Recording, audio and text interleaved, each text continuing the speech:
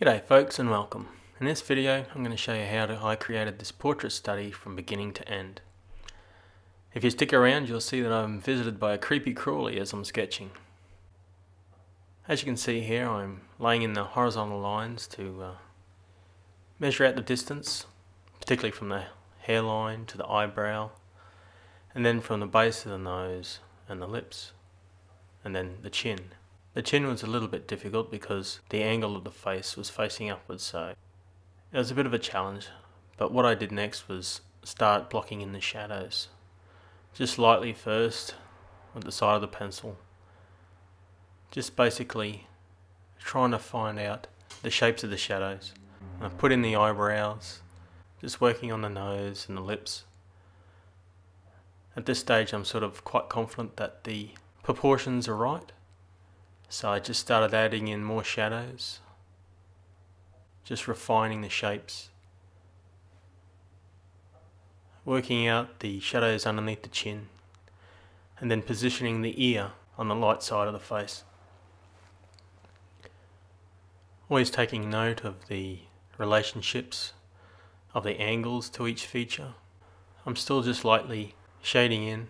At this stage I'm just using a HB pencil working out where the distances of the features are, the ear.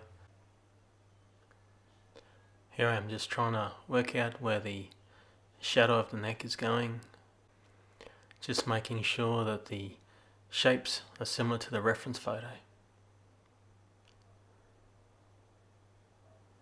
Here I'm just lightly going over the face to get rid of that stark white.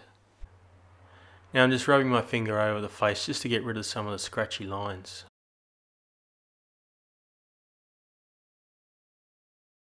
Here's my creepy little friend.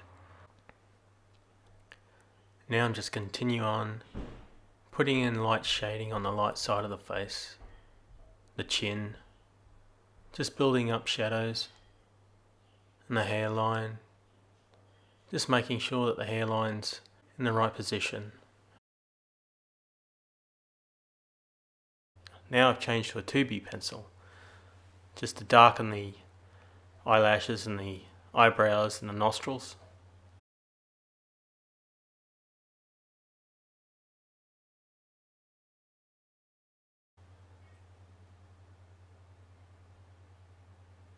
Putting more definition into the hairline.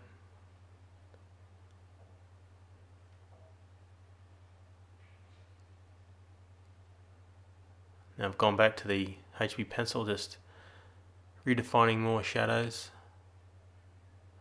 Now the 4B pencil. Just darkening those shadows. Around the eyes and the cheek. Trying to blend it all in.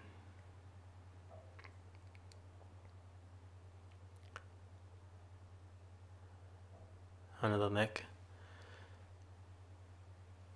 Just seeing how the um, shape of the shadows form on the face.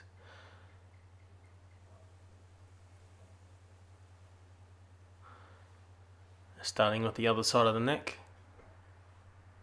and the hair. Here I'm sort of just gauging where the hair goes in relationship to the rest of the face. Here I'm marking in the shadows on the neck just to give it a bit more definition.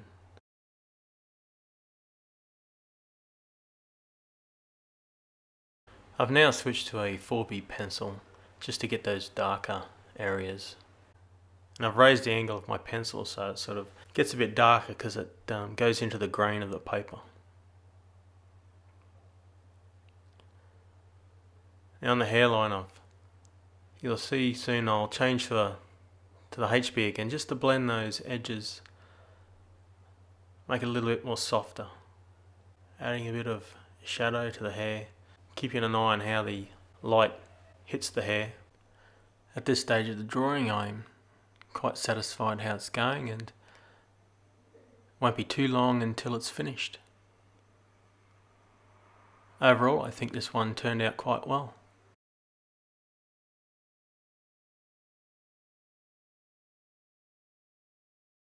Just going in a little bit of dark, just giving those extra touches to make it pop. Just a reminder, if you like this video, please hit the like button and subscribe if you found some value.